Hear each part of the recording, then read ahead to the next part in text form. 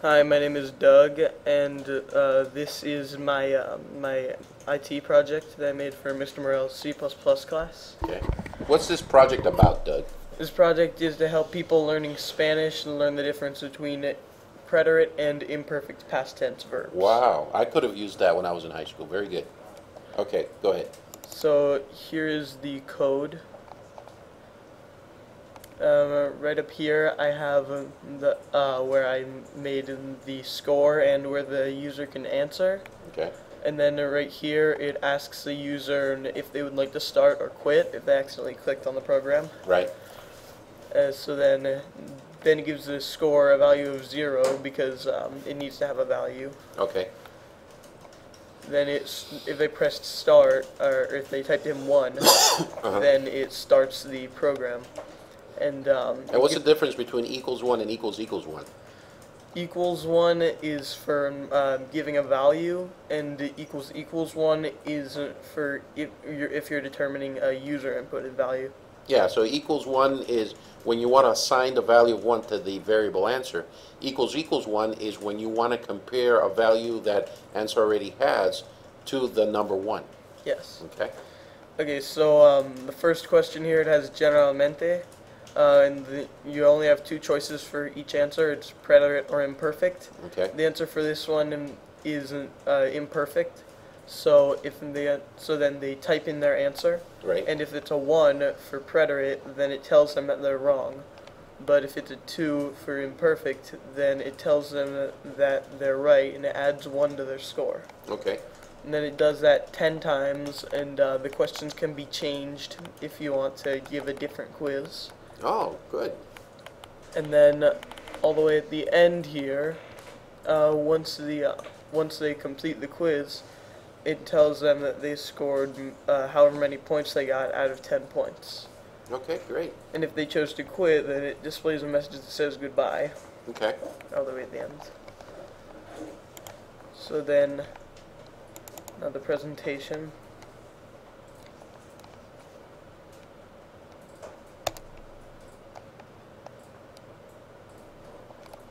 Okay, so this is the presentation that I made.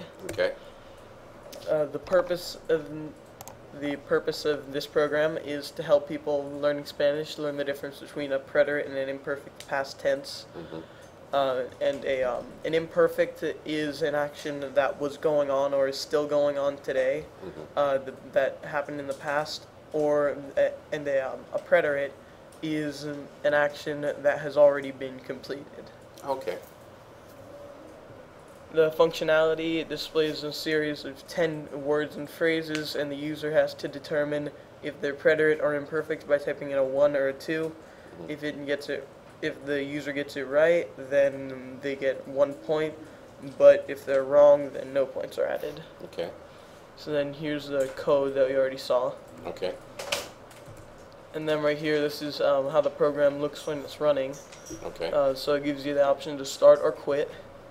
And then as you can see, if I typed in a 1, so then it didn't, uh, it didn't let me start. Mhm. And then for generalmente, I put in a 2, and that's the correct answer, so it told me I'm correct. Okay. But then for the second one, the answer was also imperfect, but I typed in a 1, so as you can see, that's wrong. Now, is there a score? Is there a way for the user to keep track of how many right and wrong? No, it's only displayed at the end. Oh, it's that. Okay, right yeah, there. and then right here, you can see um, after they finish all of them, you can see how many points they got. So I got 8 out of 10 on that one. Okay. And then here's a video demonstration of the code. Okay. Where Where is the video? I just closed out. Um, Okay. There.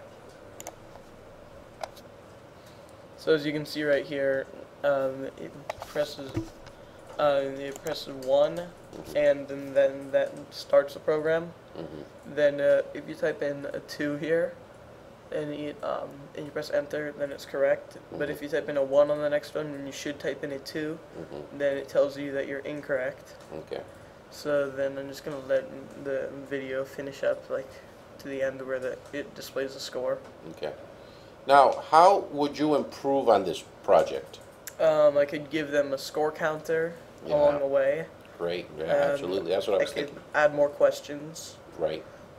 Uh, And maybe um, instead of just focusing on preterite and imperfect, um, focus on maybe other tenses and other areas within the grammar, right? Mhm. Okay. And then- so, in, in other words, this is a good a good start.